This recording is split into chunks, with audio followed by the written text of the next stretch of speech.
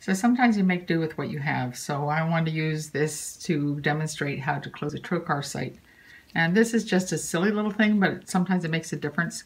Our crack vials for the Octyl and for the Dermabond. See how little you have in there? And it takes a pretty good squeeze. And then with your fingers being wider, it spreads out the glue.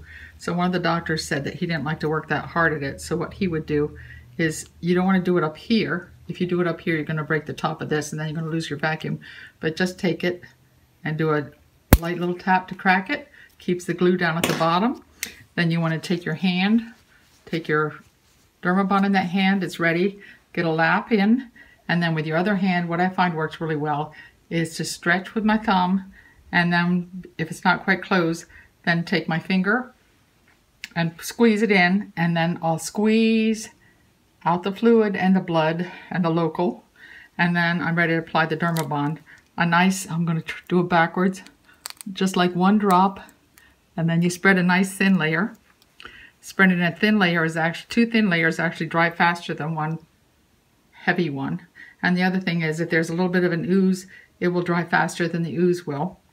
And so you won't have a bloody line. And then you can go back and you can see you can let it go pretty quickly, move on to the next one, and then you come back and put another little line of glue on it.